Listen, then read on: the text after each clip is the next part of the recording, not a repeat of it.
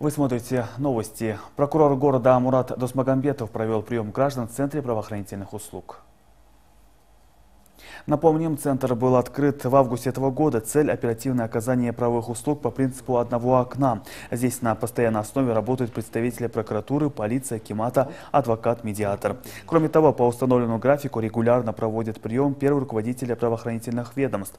Такая практика дает возможность оперативно решать правовые вопросы граждан, своевременно предоставлять им юридическую помощь бір ай мерзімде атқарылған жұмыс нәтижесінде 127 азамат қабылдауда болды За месяц работы центра обратилось 127 человек. Здесь оказывают юридическую помощь, проверяют законность процессуальных решений, а также помогают в получении цифровой подписи, написании и отправке заявления в электронной форме. Бесплатную помощь оказывают адвокат и другие специалисты центра. В последний четверг каждого месяца прием проводит прокурор области, начальник ДВД Аким города.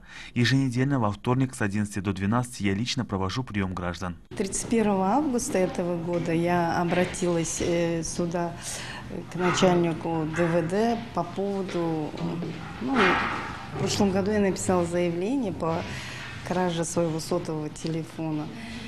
Э, Я удовлетворена, они мне обещали, сделали побольше вот таких личных приемов, чтобы решать свои проблемы. Телефон нашли, сейчас мы пользуемся сами.